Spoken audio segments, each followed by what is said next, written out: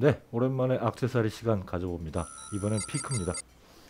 네, 버즈비 TV의 고품격 악기 버라이어티 기어 타임즈 지금 시작하겠습니다. 네, 오랜만에 피크 리뷰인데요. 뭔가 되게 준비를 본격적으로 했죠. 지금 앞에 컨덴서도 놓여져 네, 있고 예. 선생님 지금 뭐 기타 그 하나 메고 메고. 계시고 여기 앞에 어마어마한 종류의 지금 피크가 늘어서 있는데 자 이게 이제 다바 피크입니다. 여러분들 아시는 분들은 아실 텐데 지금 또 우리 어 사운드 담당 건우가 네. 또 열심히 다바 피크를 실제로 애용하고 있는 유저라고 또 하고요. 다바 피크 은근히 쓰시는 분들이 많더라고요. 쳤습니다, 저.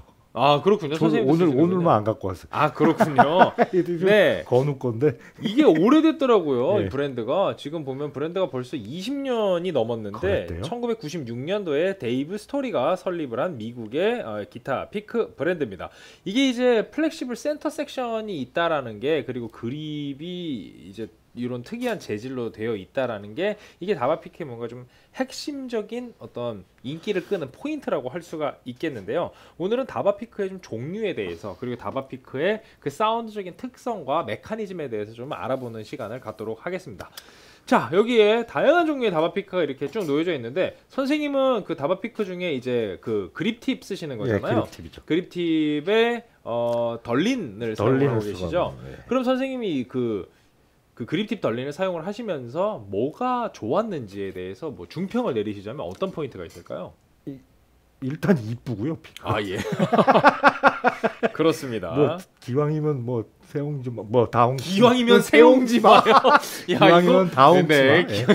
기- 기왕이면 세옹지 마 너무 그래갖고 색깔도 제가 한 다섯 가지 색깔을 섞어서 네네네. 사용했는데 어 다 달라 그래 보는 사람마다. 어 그렇죠. 예쁘니까. 되냐 뭐 이래가지고. 그렇죠. 그런데 가운데가 이렇게 난창거립니다. 네네네. 낭창낭창하죠.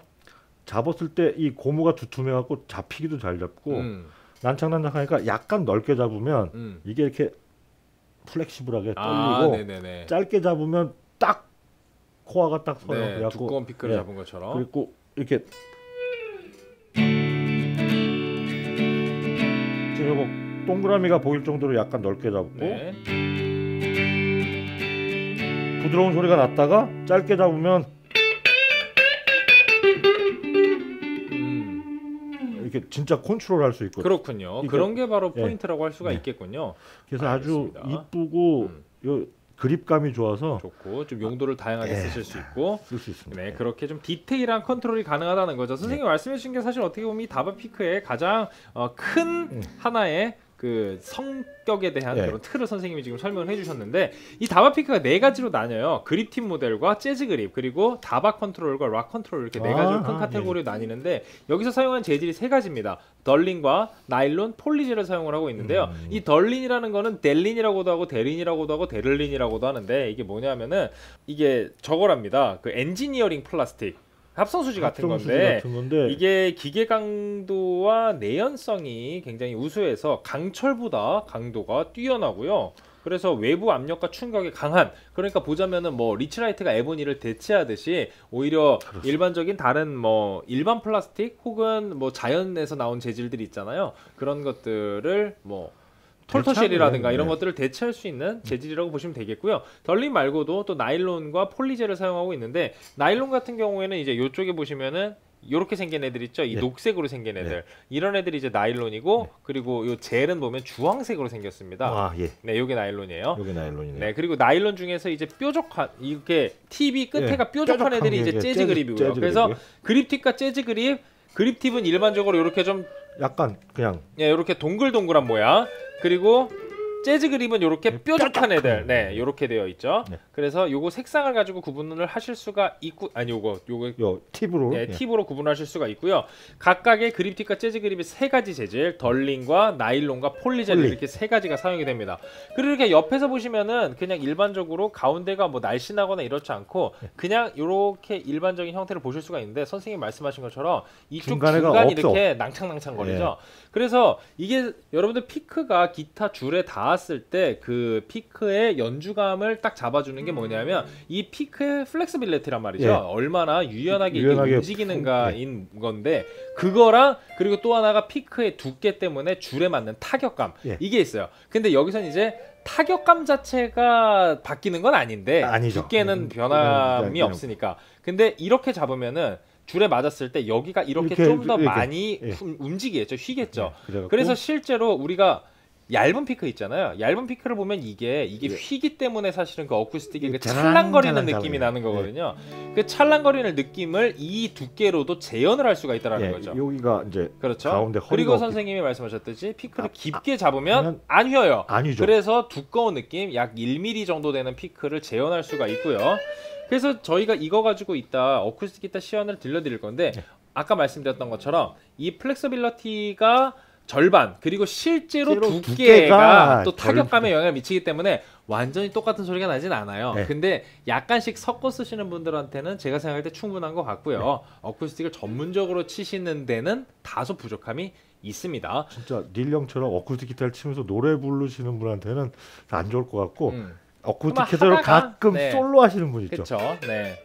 이렇게 뭐 이렇게 슬렁슬렁 그냥 슬렁 하다가 깊게 소- 잡고 또 솔로 딱 들어가는 네. 이런 건 괜찮을 것 네, 같아요. 괜찮아요. 자 그리고 또 다바 컨트롤과 락 컨트롤이 있는데 다바 컨트롤은 이렇게 생겼습니다. 다바 컨트롤은 poly gel과 나일론 재질이 있는데 이건 나일론 예, 재질이에요. 가운데가 보면은 또 옆에 보면은 가운데가 이렇게 얇게 되어 있어요. 허리가 쏙 들어갔어요. 그렇죠. 그래서 아까 말씀드렸던 이렇게 넓게 어, 잡으면 잡았을 때 컨트롤, 깊게 잡았을 때 컨트롤을 조금 더 직관적으로 활용을 하실 수가 있는 이 다바 컨트롤 보실 수 있고요. 여기에 이제 똑같이 팁과 그립 부분이 나뉘어져 있는 락 컨트롤이 있습니다. 네. 이거 되게 극단적으로 생겼죠. 예. 이렇게 잡으면 이렇게 휘고 예. 이렇게 잡으면은 잘. 아니게 되는데 예. 이것도 이제 Delrin과 니켈 실버 두 가지 재질로 나와요.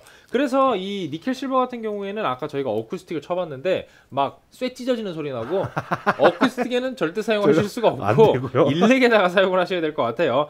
그래서 이게 소프트, 미디엄, 하드를 기본적으로 어, 나눠서 쓰실 수 있다 라고 나와 있는데 자 한번 볼까요? 네. 자 여러분들 어쿠스틱에서 그 이 얇은 피크 지금 0.5mm 쓰고 있는데 0.5mm 피크가 이제 줄에 맞는 이 얇은 거에 타격감 있잖아요. 예. 이게 두꺼운 피크가 맞으면 타격감 자체가 좀 달라요. 둔탁해지죠 더 느낌이. 둔탁하고 크죠 소리가. 네. 예. 그리고 여기서 이제 그 이렇게 휘는 느낌, 요 유연성으로 이제 sound making을 해보자면 원래 얇은 피크로 치면 이런 사운드가 나죠.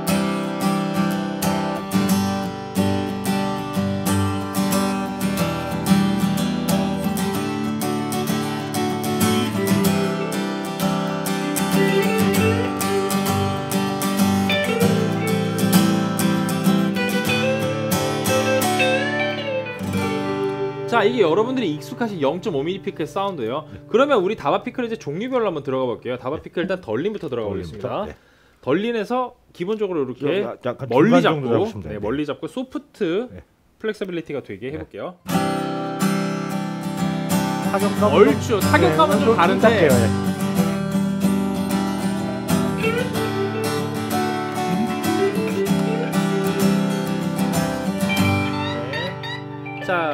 이번에는 재즈 예, 재즈. 재즈 그립의 어, 덜린으로 덜리로. 오히려 타격감이 좀 더 비슷해요. 네. 뾰족해서.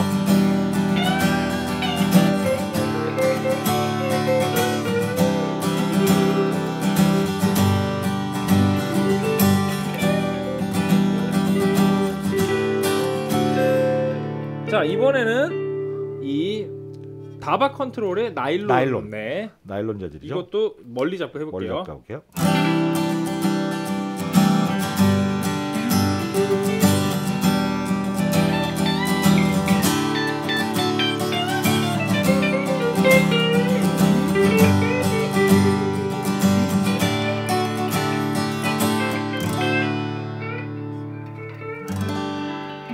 가장 좀 비슷한 느낌이 예, 드네요. 비슷한. 근데 이제 문제는 뭐냐면은 이거를 너무 끄트머리를 잡고 치시다 보면은 연주의 안정성은 조금 떨어져요. 떨어져요. 그래서 어쿠스틱에다가 이거를 접목하실 생각을 하시면 안 되고 좀, 좀 그래요. 네, 어쿠스틱은 이제 여러분들이랑 이런 사운드까지 낼 수 있다라는 거를 들려드리기 위한 시연이었고 실제로 일렉 기타 선생님이 멀리 잡고 가까이 잡는 거를 니켈 실버로 한번 네.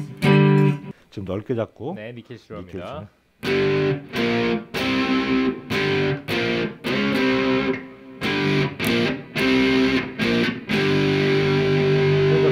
짧게 잡고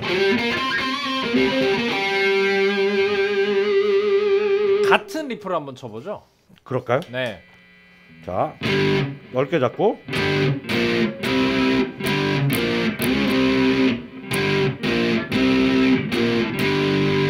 짧게 잡고 픽업도 똑같고 같습니다. 네. 어택- 톤이 좀더 네, 쪼네요. 좀, 네. 솔로도 근데, 예, 네, 솔로도 톤으로 같은 걸로 한번 해볼게요. 아마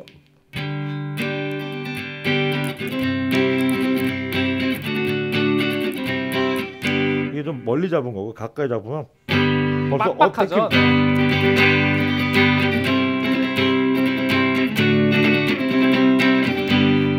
어우 엄청 그렇습니다. 사, 사운드 엄청 커지네요.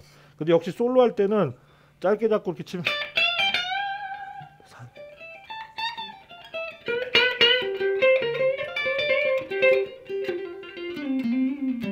표정이 있죠. 음, 네네네. 손힘 완전히 손힘으로만 조절할 수 있으니까 그렇습니다. 아주 표정 생기고 좋습니다. 그 여기도 선생님 이제 솔로 하시니까 뭐 어쿠스틱 기타에서 이게 얇은 거 이제 치잖아요. 네. 그럼 얇은 피크로 치면 사실 스트로크 할 때는 좋은 사운드가 좋은- 나는데 나는데 나는데 이제 솔로를 할 때 솔로 할 때 문제가 이제 너무 이게 메가리가 줄에 져서 네, 메가리가 없죠. 이런 사운드가 나는데 얘를 이제 치다가 좀 짧게 잡고 치면은 아 표정이 확 살죠. 이이 그, 확실히 이런 효과는 있어요. 그 독한 효과가 있죠. 매, 매콤한 효과가 있는데 네, 이거 똑같은 거 치면은 네. 그 냥 컴프레서가 걸렸고요. 네, 이렇게 네, 아무리 틱틱틱 이런 아무리 느낌이 세게 나죠? 쳐도 그렇습니다. 얘가 피크가 지기 때문에 줄에 아무래도 두께에서 오는 장점은 이런 데다가 활용하시면 될 것 같고요. 스트로크 전용이라기보다 다양한 느낌의 상황에 대응할 수 있는 피크라고 보시면 될 것 같고 그리고 일단 그립이 편안하고 미끄럽지 않아서 좋고요. 그리고 예뻐서 좋습니다.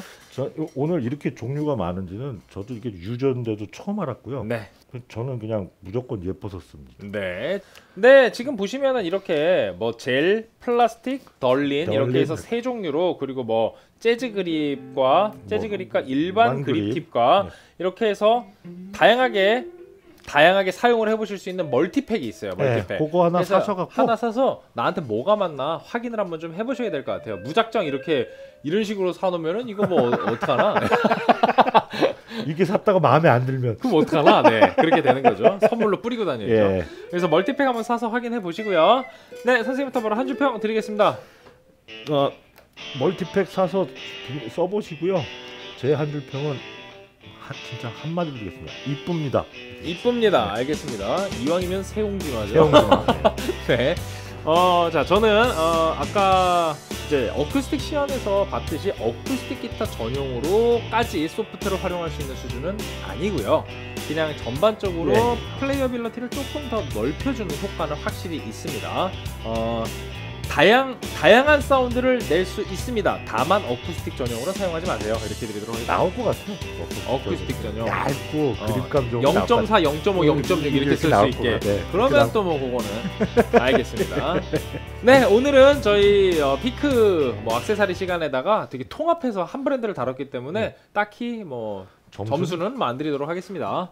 꽂아놔도 이쁘죠. 네 그러네요. 네. 꽂아놔도 예쁜 피크 다바 피크 오늘 종류별로 같이 쭉 살펴보셨고요. 다양한 종류의 피크가 있습니다. 여러분들의 연주력을 향상시키기 위해 다양한 시도와 도전을 해보시길 바라면서 오늘 이 시간은 여기서 마치도록 하겠습니다. 여러분 유튜브 구독과 좋아요는 저에게 큰 힘이 됩니다. 기어 타임스!